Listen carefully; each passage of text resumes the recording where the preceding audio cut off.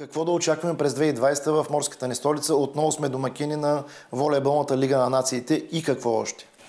А, ние това, че няма да сме европейски град на спорта, ние сме си европейски град на спорта, просто титулата няма да иначе продължаваме да си работим с всички тези международни големи форуми. Волейбола винаги се искали Варна да е домакин, тъй като публиката тук, знаете, че е уникална. Ние сме освен морска и волейболна столица, така че също им благодарим на тях за това, че избират Варна. С това световно първенство по волейбол, което се проведе във Варна, мисля, че туристическия бранш го усетиха също много сериозно, тъй като имаше ръст на туристите.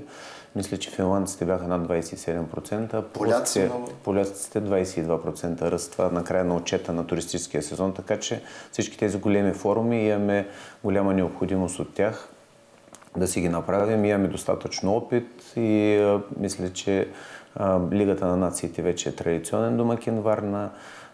Всичко това, което правим като организация, явно се забелязва и художествената гимнастика избраха Варна за домакин 21 година на Европейското първенство. Европейско първенство, както казахме, ще има и по ветроходство и Европейско първенство ще има по карате Киокушин в Двореца на спорта. Световна купа по спортна гимнастика се завръща. Да, Световната купа по спортна гимнастика, която организира Данчо Йовчев, отново се завръща, тъй като столица на спорта беше София 18-та година и сега отново се връща във Варна. много форуми имаме с студенти. Януари, да кажем, евроквалификациите по футзал започват. Да. Министър Караев, като винаги помага много. Да, евроквалификациите по футзал. Бяхме домакин на Шампионска лига по футзал не знам кои спортове, вече така като даже ги бъркаме вече, защото няма почти спортове а, от тези, които са колективните и голяма част от индивидуалните, които сме ги приоритизирали. И продължаваме да работим. Плажните спортове? Плажните спортове, вие знаете и ги отразявате, за което ви благодаря, защото Варна Морски град няма как плажните спортове да не се развиват. Моето мнение го знаете. Четири години стана, правим фестивал на плажните спортове. Да успокоим, ще има плажен футбол.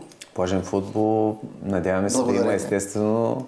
А, просто там винаги им казвам на тези, с които работим плажния футбол, да мислят за развитието на плажния футбол, защото а, това, а, те гонят някакво професионално ниво. А трябва да има. А на плажния, а, нали, от това всичко професионално ниво, което гонят, трябва, няма резултат 4 години деца да запалят. Две години... Не идва нищо отдолу, да. Ами не идва. Затова те имат, мисля, че подготвени кадри. А, направихме две години подред, правиме турнир с Черноморе да. и Спартак, детски турнир.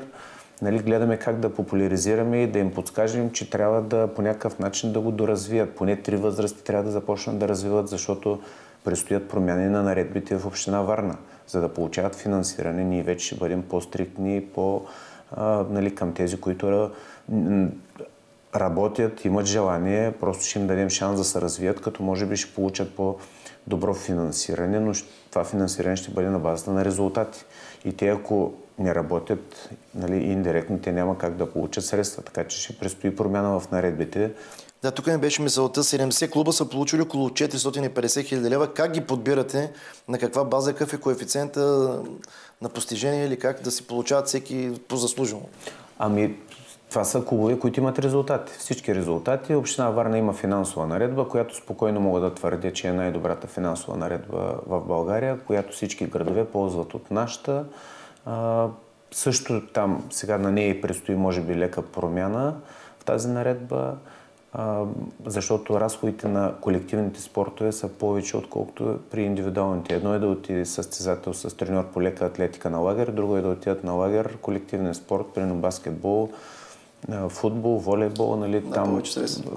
повече средства са естествено и затова може би ще предстои едно оптимизиране на тази наредба, за да може да работи по-добре.